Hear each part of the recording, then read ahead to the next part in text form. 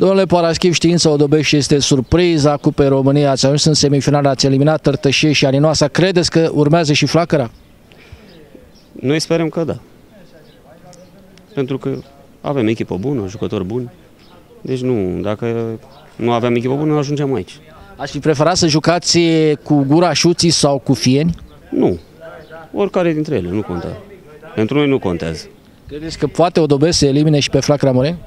Păi Odobește e surpriza surprizelor. Sunteți pe primul loc la onoare, sunteți ca și promovați în Liga 4, sunteți în semifinale. Care e secretul acestor rezultate? Jucători buni, foarte buni, cu ambiție, deci jucători foarte buni.